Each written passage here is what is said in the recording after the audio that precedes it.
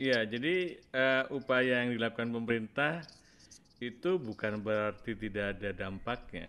Hmm. Ya kan? Ada dampaknya. Kita pernah mengalami penurunan kasus yeah. pada masa sebelum bulan Ramadan itu yang tinggi bulan yeah. Maret, ya kan? Itu kan suatu sukses tapi kemudian kita jadi abai. Disangkanya akan turun terus hmm. gitu kan. Nah, nah, ini menurut saya uh, kita harus Ya, betul. Ya, harus konsisten bahwa pandemi ini masih jauh selesai kalau kita tidak berhasil menekan sampai serendah-rendahnya, ya kan?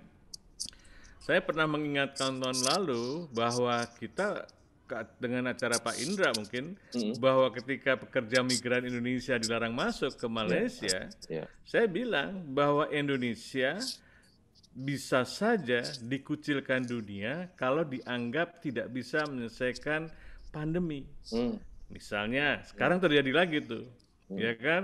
Hong Kong ya? Penerbangan ya? dari Indonesia dilarang masuk ke Hong Kong.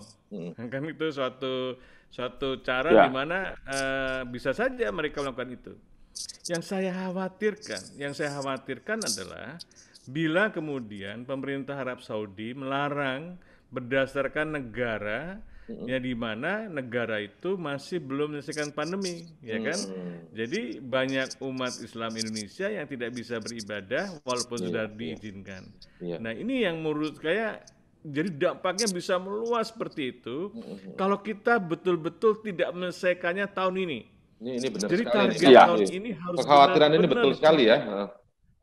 Iya, jadi itu itu dimungkinkan karena setiap negara bahkan setiap wilayah bisa menutup itu gerbangnya. Nah ini kan uh, walaupun dikecam bahwa itu tidak baik, itu tidak benar, kita harus membangun solidaritas global dan sebagainya. Tapi kan itu apa otomatis melindungi, menangani pandemi. Menangani pandemi itu memulihkan ekonomi, bukan bukan memulihkan ekonomi yeah, tanpa yeah, yeah, yeah. pandemi. Jadi kita melihat, ayo kita pulihkan ekonomi. Ya, ayo kita bersama memulihkan ekonomi dengan menangani pandemi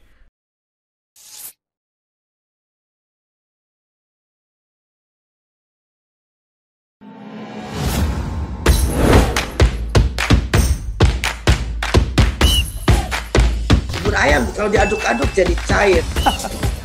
Seriously, diaduk kayaknya ya.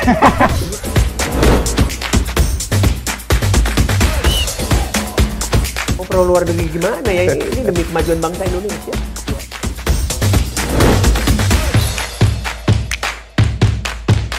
Isu kebangkitan uh, PKI ini uh, dihentikan.